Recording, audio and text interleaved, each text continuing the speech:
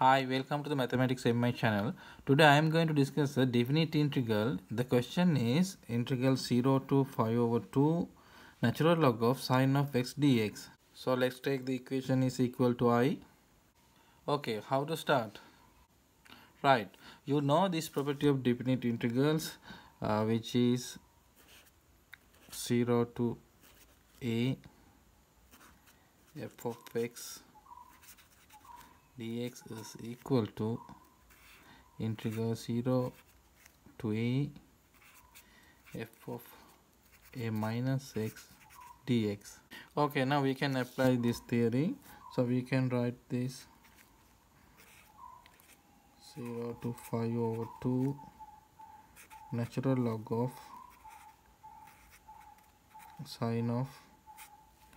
Now pi over 2 minus x dx.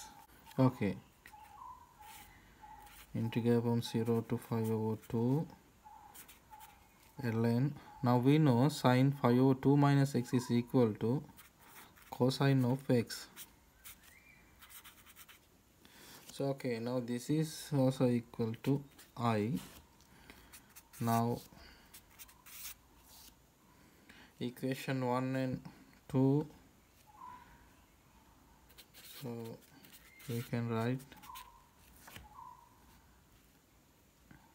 i plus i is equal to 2i is equal to 0 to pi over 2 natural log of sine of x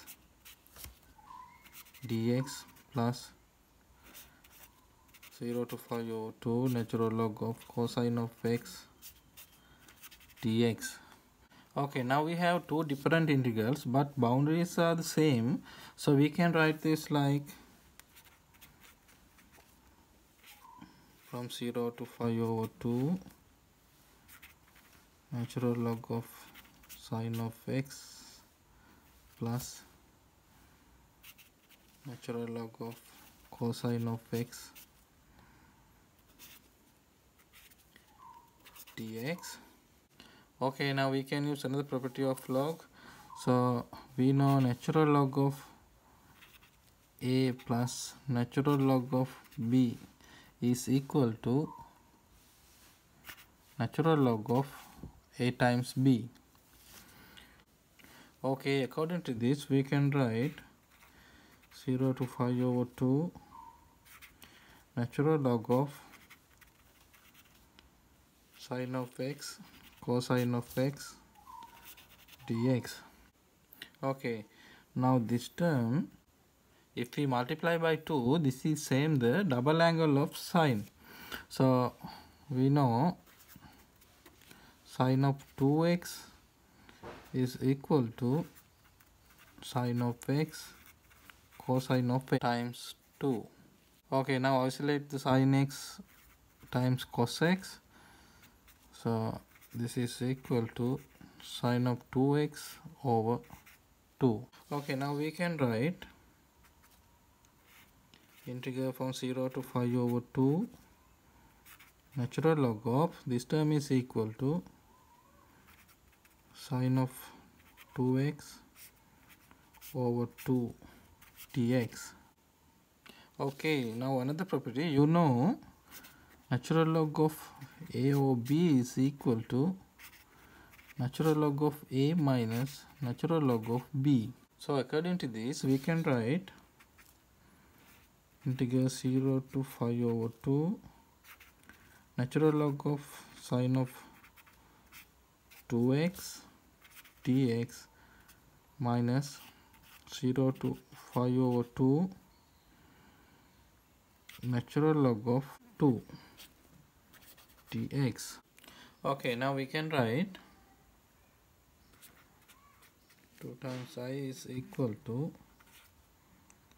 0 to pi over 2 natural log of sine of 2x dx.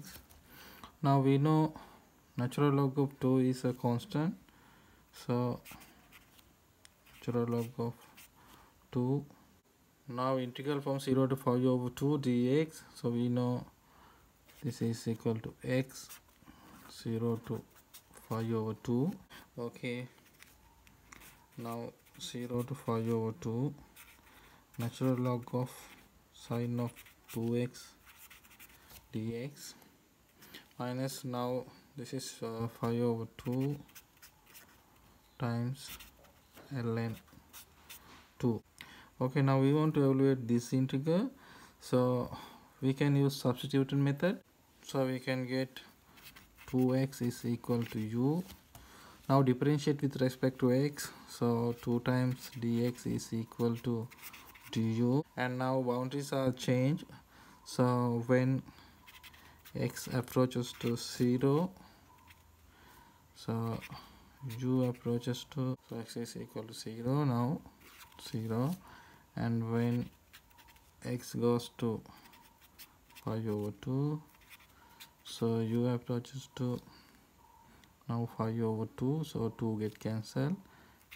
So pi okay now we can write this. U goes to 0 lower boundary and upper boundary. pi ln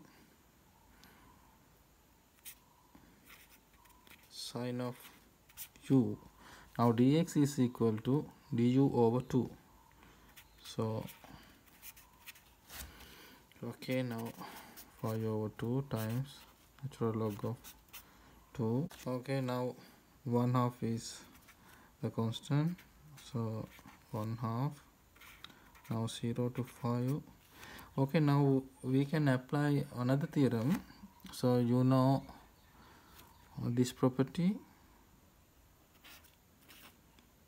from 0 to a fx dx is equal to 0 to a fy dy. So now LHS is equal to 0 to a f of x dx is equal to 0 to a f of y dy. Okay you know definite integral independence of variable so now we can write this natural log of sine of x dx minus pi over 2 ln 2 okay now we can use another property of definite integral. So in this property we can change upper boundary. So 0 to a f of x dx is equal to now 2 times 0 to upper boundary divided by 2